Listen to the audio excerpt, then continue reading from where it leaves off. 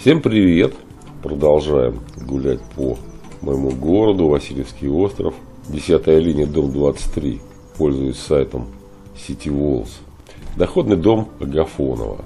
Архитекторы Розинский. Год постройки 1903. Стиль эклектика. Доходный дом Агафонова. Территория дома 23 с 1810 по 1880 годы принадлежала известной купеческой семье Матисонов. В каменном флигеле, построенном в 1822 году, они спасались при наводнении 7 ноября 1824 года.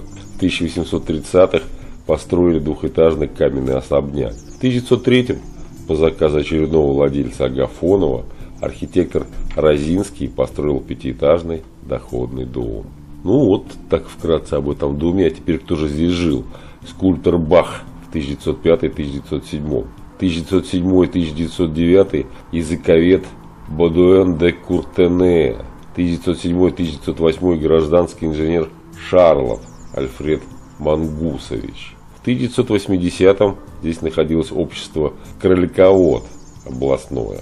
Ну вот, примерно так по дому номер 23, 10 линия Васильевского острова, пользовался сайтом City Walls данными, данными этого сайта. Пока-пока, до свидания.